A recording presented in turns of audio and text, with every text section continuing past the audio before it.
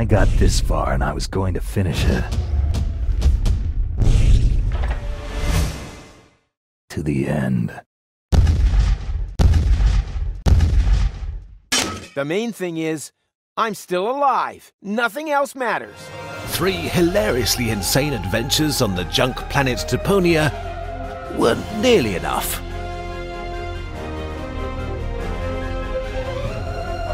Didn't even see you coming. what can I say? I'm like climate change, but you can call me Rufus.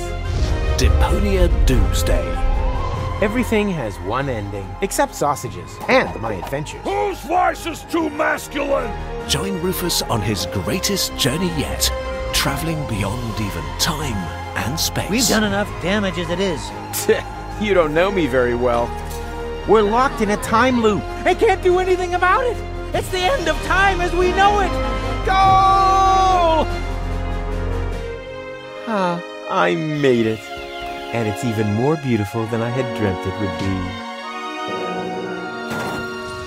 Silly.